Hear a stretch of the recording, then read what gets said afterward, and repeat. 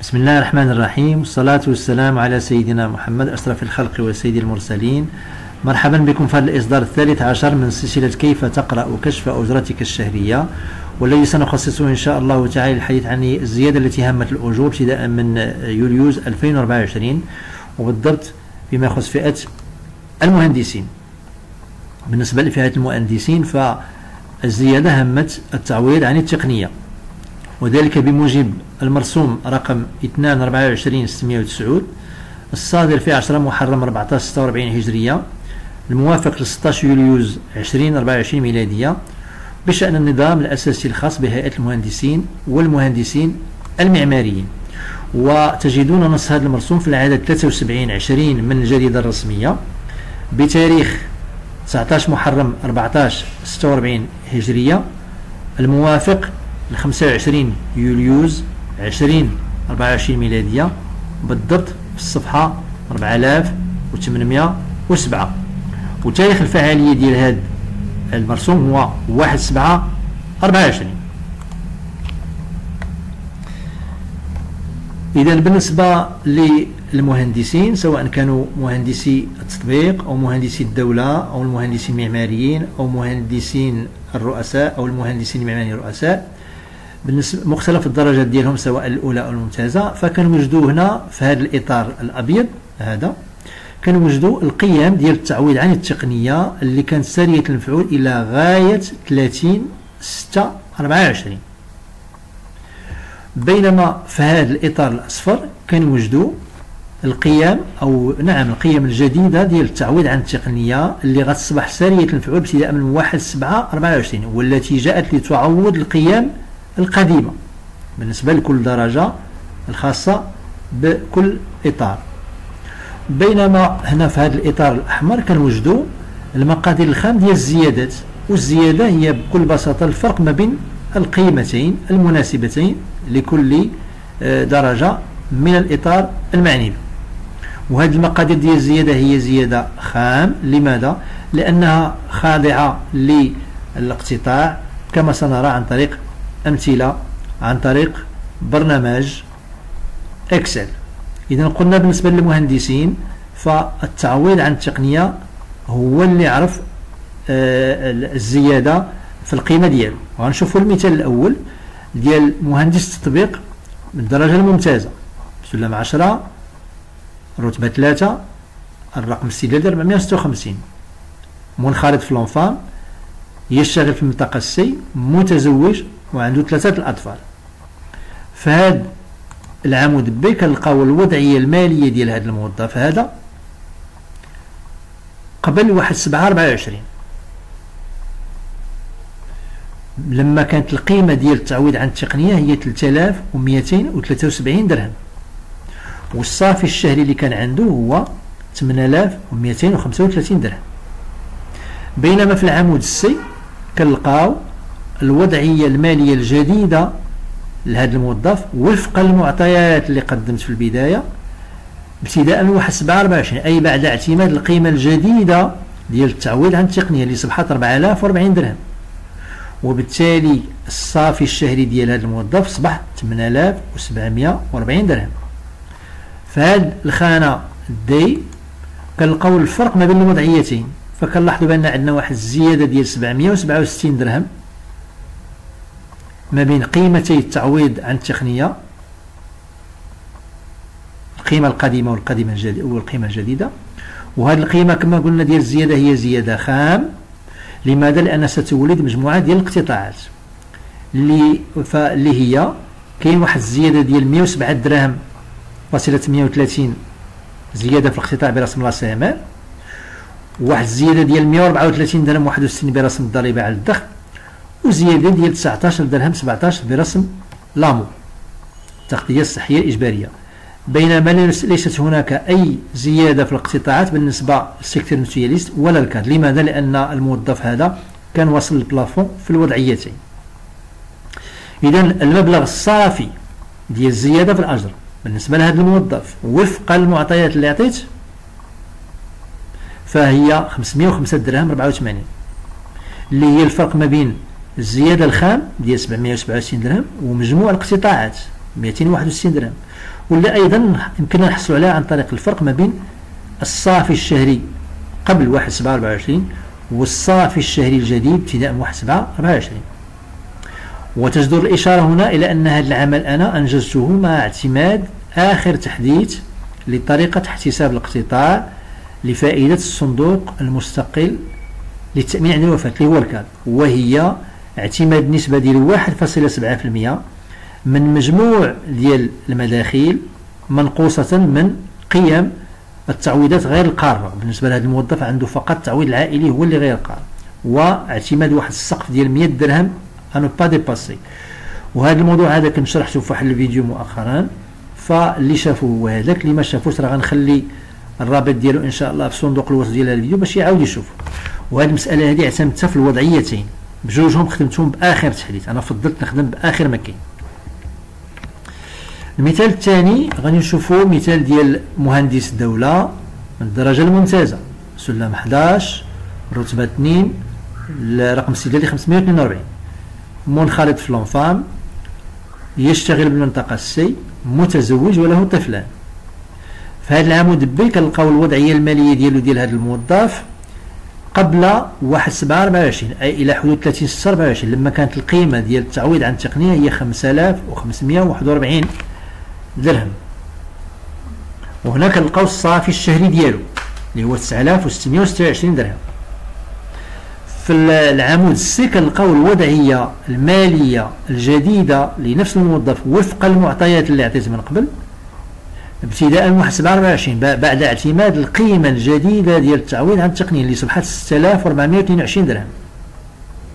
وبالتالي الصافي الشهري بالنسبة لهذا الموظف وفق المعطيات اللي عطيت فغتصبح عنده 10000 درهم و112 في العمود الدي كنلقاو الفرق ما بين الوضعيتين فكنلاحظوا أنه كاين واحد الزيادة ديال 881 درهم على مستوى التعويض عن التقنية اللي هو الفرق ما بين القيمتين ديال التعويض وهذا هو الفرق اللي شفناه في الجدول السابق. وهذه الزيادة هي زيادة خام لأنها غتولد واحد المجموعة ديال الاقتطاعات أو زيادات في الاقتطاع. فهناك زيادة ديال 123 درهم 34 بالنسبة لاسامر لفائدة لاسامر وواحد الزياده ديال 250 درهم فاصلة 11 برسم الضريبة على الدخل. وزيادة ديال 22 درهم فاصلة 3 برسم l'AMO بينما ليست هناك أي زيادة في الاقتطاعات بالنسبة لل secteur mutualiste ولا ال CAAD. لماذا؟ لأن هذا الموظف كان عنده déjà ال plafond في الوضعيتين. اذا المقدار الصافي ديال الزيادة في الأجر.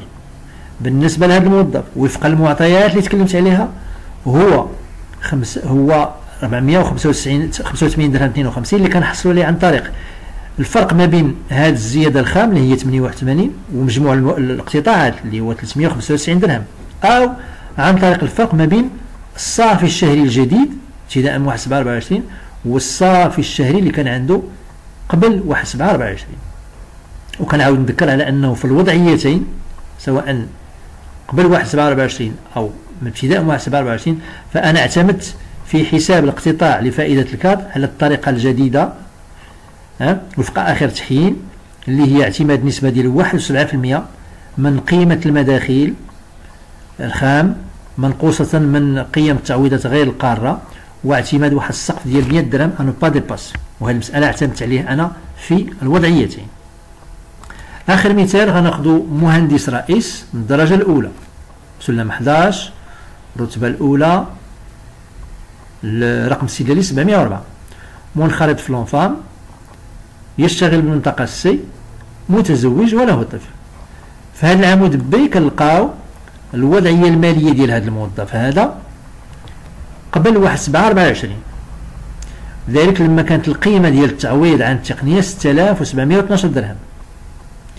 والصافي الشهري كان عنده هو 10358 في العمود السي كنلقاو الوضعية المالية الجديدة لنفس الموظف وفق المعطيات اللي قدمت من قبل.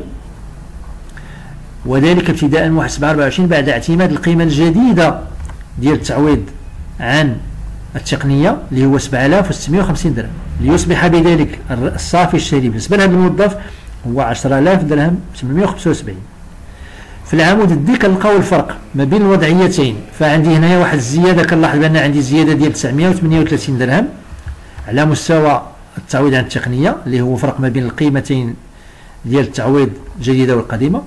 وهي زيادة خام لأن ستولد مجموعة من القطاعات اللي هي أو زيادة في القطاعات. فهناك زيادة ديال 131 درهم 32 برسم la CMR وزيادة ديال 266 درهم 30 برسم ال IR ضريبة على الدخل.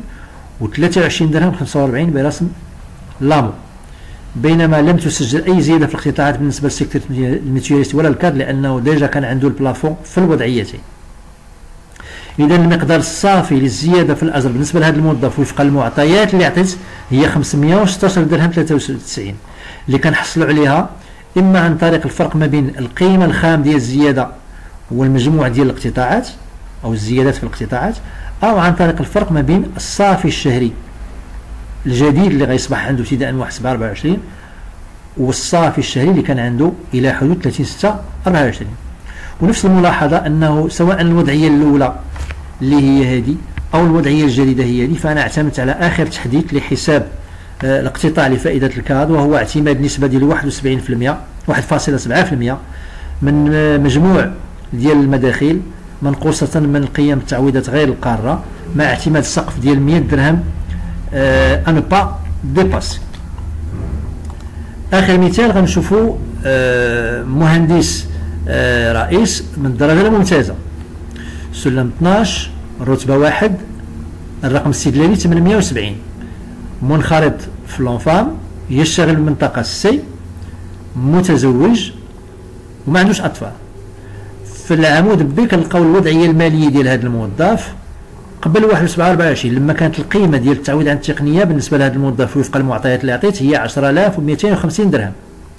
الصافي الشهري كان عنده 12000 درهم و443 في العام السي كنلقاو الوضعيه الماليه الجديدة ديال هذا الموظف وفق المعطيات اللي عطيت. ابتداء من 1 7 24 بعد اعتماد القيمة الجديدة ديال التعويض عن التقنية اللي هو 11000 درهم 188 ليصبح بذلك الصافي الشهري بالنسبة لهذا الموظف وفق المعطيات ديالو هو 12000 درهم 975 في العمود الدي كنلقاو الفرق بين الوضعيتين فكنلاحظوا ان عندنا واحد الزياده على مستوى التعويض عن التقنية اللي هو الفرق ما بين قيمتي التعويض عن التقنية القيمة الجديدة والقيمة القديمة وهذه الزيادة هي زيادة خام كما قلنا لأنها غتولد مجموعة ديال الاقتطاعات. فهناك زيادة ديال الاقتطاع بالنسبة للسامر اللي هو 131 32 هذه هو القيمة ديالها. وزيادة بالنسبة للضريبة على الدخل وهي 274 درهم 27 بينما لا على مستوى l'AMO ولا على ال secteur mutualiste ولا على مستوى ال CAAD ليس هناك أي زيادة في القطاعات سجلت لماذا؟ لأن هذا الموظف هذا بحكم الدرجة ديالو والرتبة ديالو فكان واصل ال plafond بالنسبة لهاد ثلاثة ديال المستويات ديال الاقتطاع بالنسبة للتعاضديه الصحية. اذا بالنسبة لهذا الموظف هذا وفق المعطيات ديالو. فالمبلغ الصافي ديال الزيادة الشهرية وهو 532 درهم. هذا اللي غنحصلوا عليه عن طريق الفرق ما بين الوضع ما بين الزيادة الخام ديال 938 درهم والمجموع ديال الاقتطاعات 405 درهم.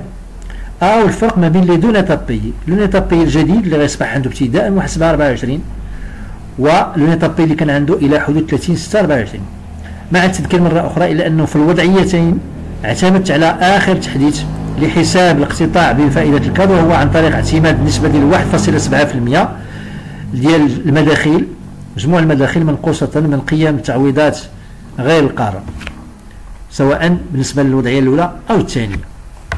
إذا هذه الأمثلة نتمنى تكون أنها آه، أفادتكم وهذا la vidéo غتكون إذا انتهت. نشكركم على المتابعة ديالها ونتمنى تكون أيضا فادتكم.